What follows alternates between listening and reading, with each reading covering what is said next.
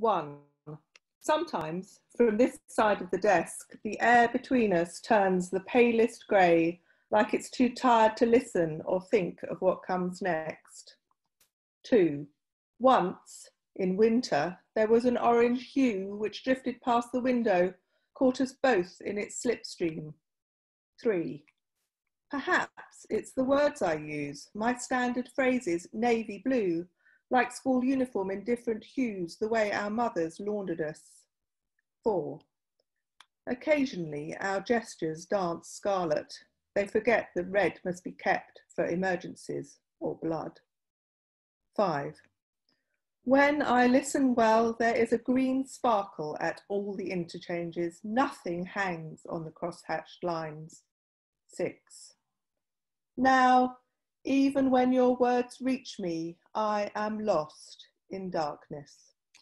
Thank you.